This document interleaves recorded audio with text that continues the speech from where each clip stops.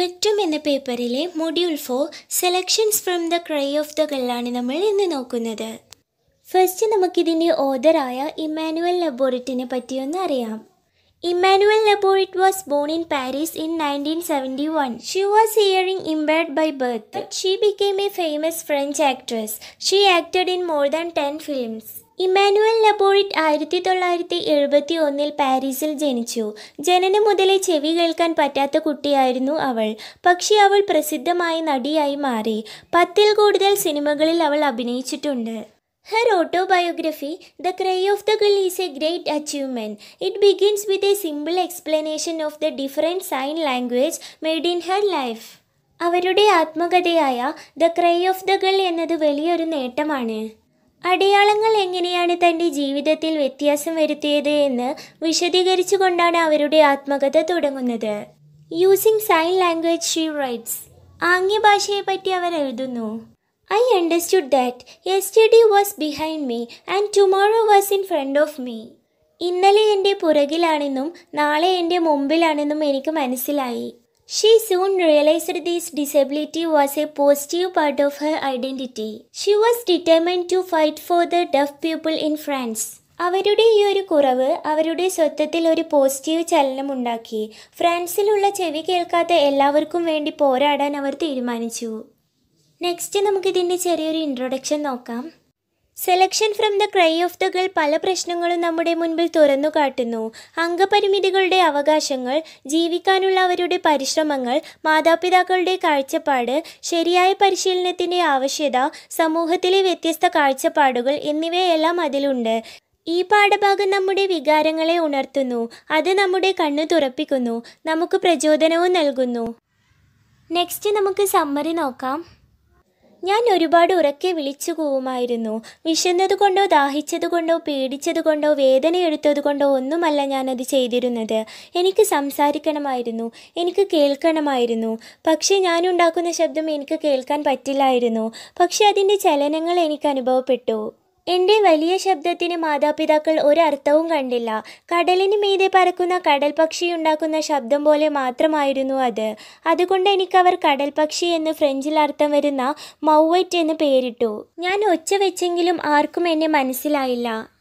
എന്റെ അമ്മ എന്നോട് പറയുമായിരുന്നു ഞാനൊരു സുന്ദരി കുട്ടിയാണെന്ന്. എന്നെ പ്രസവിച്ചത് എളുപ്പത്തിലായിരുന്നു. ഏഴ് പൗണ്ടും പതിനേഴ് ഔൺസുമായിരുന്നു എന്റെ തൂക്കം. എനിക്ക് വിശന്നപ്പോൾ ഞാൻ കരഞ്ഞു. മറ്റുള്ള കുട്ടികളെപ്പോലെ ഞാൻ ചിരിക്കുകയും ശബ്ദങ്ങൾ പുറപ്പെടുവിക്കുകയും ചെയ്തു. വീട്ടിൽ വലിയ ശബ്ദത്തിൽ മ്യൂസിക് വെക്കുമ്പോഴും ഞാൻ ശാന്തമായി ഉറങ്ങുന്നത് കണ്ട് എന്റെ മാതാപിതാക്കൾ വിചാരിച്ചത് ഞാനൊരു നല്ല സ്വഭാവമുള്ള കുട്ടിയാണെന്നാണ്.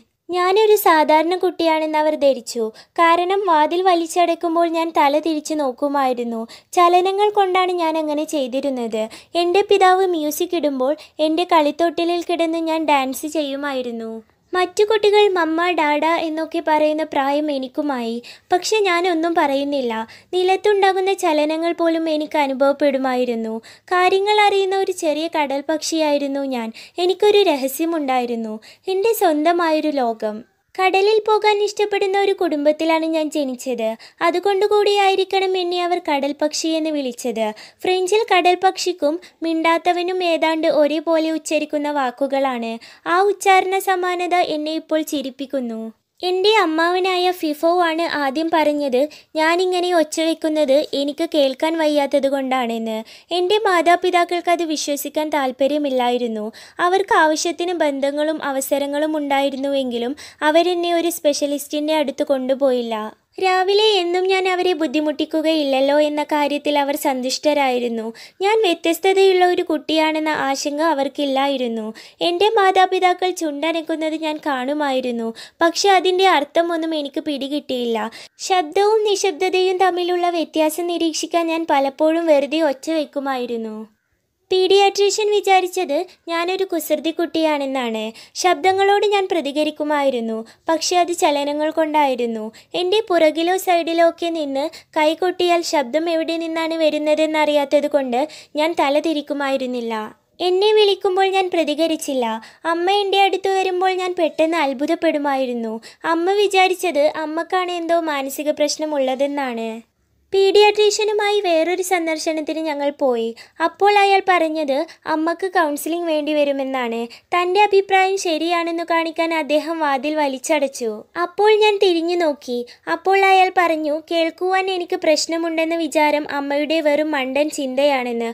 പക്ഷേ ഞാൻ തിരിഞ്ഞത് ചലനം കൊണ്ടായിരുന്നു. അമ്മയ്ക്ക് അമ്മയോട് തന്നെയും അയാളോടും ദേഷ്യം തോന്നി. ഈ സന്ദർശനം കഴിഞ്ഞതിൽ പിന്നെ എന്റെ മാതാപിതാക്കൾ ഒരു വലിയ വിഷമത്തിൽ തന്നെയായിരുന്നു. അവർ പലപ്പോഴും പല വിധത്തിലും എന്നെ പരീക്ഷിച്ചുകൊണ്ടേയിരുന്നു. അവർ ചൂളമടിച്ചു വിളിച്ചു വാതിൽ കൊട്ടിയടച്ചു മ്യൂസിക് ഇടുമ്പോൾ ഞാൻ ഡാൻസ് ചെയ്യുന്നത് അവർ നിരീക്ഷിച്ചു. ചിലപ്പോൾ അവർ കരുതി എനിക്ക് കേൾക്കാമെന്ന്. പക്ഷെ ചിലപ്പോൾ അവർ സംശയിച്ചു. വലിയ ചിന്താക്കുഴപ്പത്തിലായിരുന്നു അവർ. എനിക്ക് ഒമ്പത് മാസം പ്രായമായപ്പോൾ എന്നെ അവർ ഒരു സ്പെഷ്യലിസ്റ്റിന്റെ അടുക്കൽ കൊണ്ടുപോയി. അയാൾ അപ്പോൾ തന്നെ പറഞ്ഞു എനിക്ക് ചെവി കേൾക്കുന്നില്ല എന്ന്. ഞാനൊരു ബധിരയാണെന്ന്. എന്റെ മാതാപിതാക്കൾക്ക് അത് ഞെട്ടലുണ്ടാക്കി. അവർ വിചാരിച്ചു അത് അയാളുടെ തെറ്റായ നിഗമനമാണെന്ന്. അവർ എന്നെ ട്രൗസോ ഹോസ്പിറ്റലിൽ കൊണ്ടുപോയി. അമ്മയുടെ മടിയിലാണ് ഞാൻ ഇരുന്നത്. അവർ വലിയ ഒച്ചപ്പാടുകൾ ഉണ്ടാക്കി. എന്റെ അമ്മയുടെ ചെവിയിൽ തുളച്ചു കയറുന്ന ശബ്ദങ്ങളായിരുന്നു അത്. പക്ഷെ ഞാൻ ഒട്ടും പ്രതികരിച്ചില്ല. അപ്പോൾ അമ്മയ്ക്ക് മനസ്സിലായി ഞാൻ ബധിരയാണെന്ന്. അമ്മ അവരോട് മൂന്ന് ചോദ്യങ്ങൾ ചോദിച്ചു. ആദ്യത്തെ ചോദ്യം ഞാൻ സംസാരിക്കുമോ ഇല്ലയോ എന്നായിരുന്നു. ഞാൻ സംസാരിക്കും പക്ഷെ ഒരുപാട് സമയമെടുക്കുമെന്നായിരുന്നു അവരുടെ ഉത്തരം. രണ്ടാമത്തെ ചോദ്യം അവർ എന്തു ചെയ്യണമെന്നായിരുന്നു. എന്റെ ചെവിയിൽ ഹിയറിംഗ് എയ്ഡ്സ് വെക്കുകയും എന്നെ കഴിയുന്നതും വേഗം സ്പീച്ച് തെറാപ്പിക്ക് വിടണമെന്നുമായിരുന്നു അവരുടെ ഉത്തരം. ആംഗ്യഭാഷ ഉപയോഗിക്കരുത്. മൂന്നാമത്തെ ചോദ്യം മുതിർന്ന ബധിരരെ ആരെയെങ്കിലും അവർക്ക് കാണാൻ പറ്റുമോ എന്നായിരുന്നു. അതുകൊണ്ട് ഒരു കാര്യവുമില്ല എന്നായിരുന്നു അവരുടെ മറുപടി. എന്റെ മാതാപിതാക്കൾ ദുഃഖിതരായിരുന്നു. ഈ ശാപം എവിടെ നിന്നാണ് വന്നത്? പാരമ്പര്യമായിട്ടാണോ അത് വന്നത്? ഗർഭകാലത്തെ എന്തെങ്കിലും അസുഖത്തിന്റെ ഫലമായിട്ടാണോ എന്റെ മാതാപിതാക്കൾക്ക് കുറ്റബോധമുണ്ടായി? ഞാൻ എങ്ങനെ ബധിരയായി എന്ന് അവർക്കറിയില്ല. അവർ ഒരിക്കലും അറിയുകയുമില്ല.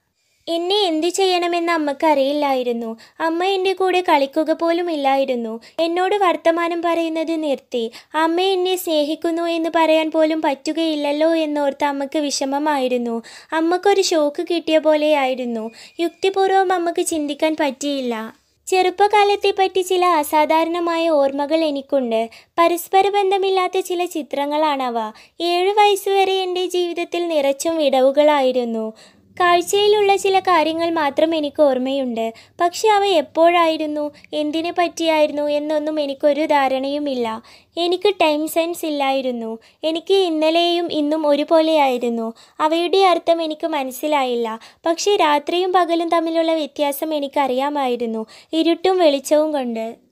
പഴയ സംഭവങ്ങളൊന്നും എനിക്ക് സമയക്രമത്തിൽ പറയാൻ പറ്റില്ലായിരുന്നു. കണ്ട ചില സീനുകളും സന്ദർഭങ്ങളും എനിക്ക് ഓർമ്മയുണ്ട്.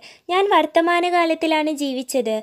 ചെറുപ്പത്തെ പറ്റി ഞാൻ ഓർക്കുമ്പോൾ ചില നുറുങ്ങു ചിത്രങ്ങൾ മാത്രമാണ് എന്റെ ഓർമ്മയിൽ. വാക്കുകളും ഭാഷയുമൊക്കെ എനിക്ക് നിഗൂഢമായിരുന്നു. പക്ഷേ എങ്ങനെയോ ഞാൻ എന്റെ കാര്യങ്ങളൊക്കെ ചെയ്തു. സ്പീച്ച് തെറാപ്പിസ്റ്റിന്റെ കൂടെ ആശയവിനിമയം നടത്തുന്നത് എങ്ങനെയെന്ന് ഞാൻ പഠിക്കാൻ തുടങ്ങി. ബോറൽ മൈസോണി മെത്തേഡിലായിരുന്നു അത്. തെറാപ്പിസ്റ്റ് ഒരു നല്ല സ്ത്രീയായിരുന്നു. അമ്മയുടെ വേദന മനസ്സിലാക്കാനും കോപം സഹിക്കാനും അവർക്ക് കഴിയുമായിരുന്നു. അവർ എന്റെ കൂടെ പല കളികൾ കളിക്കുകയും ചെയ്തു. ഞാൻ ബദിരയാണെന്നറിയുന്നതിന് മുമ്പ് അമ്മ എങ്ങനെ ജീവിച്ചിരുന്നോ അതുപോലെ തുടരാൻ അമ്മയോട് അവർ ആഹ്വാനം ചെയ്തു. ഞാൻ അക്ഷരമാലയിലെ അക്ഷരങ്ങൾ ഉച്ചരിക്കാൻ തുടങ്ങി. വാനക്കിയും കൈകൊണ്ട് ആംഗ്യം കാണിച്ചും അവർ എന്നെ അക്ഷരങ്ങൾ പഠിപ്പിച്ചു.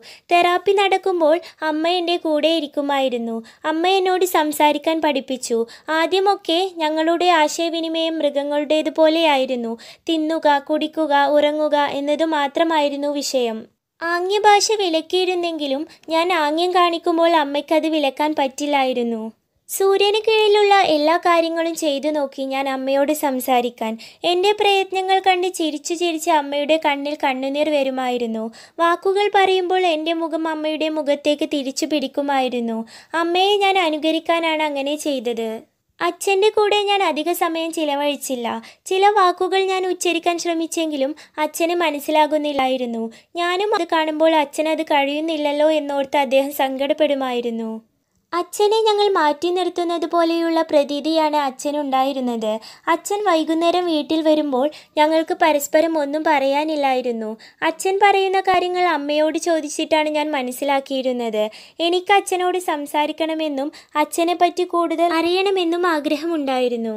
ഞാൻ ചില വാക്കുകൾ പറയാൻ തുടങ്ങി. എല്ലാ ബധിര കുട്ടികളെയും പോലെ ഞാനും ഹിയറിംഗ് എയ്ഡ് വെച്ചിരുന്നു. എല്ലാ സ്വരങ്ങളും അത് എന്റെ തലയിലേക്ക് കൊണ്ടുവരുമായിരുന്നു. പക്ഷേ എല്ലാ സ്വരങ്ങളും ഒരേപോലെയാണ് എനിക്ക് തോന്നിയത്.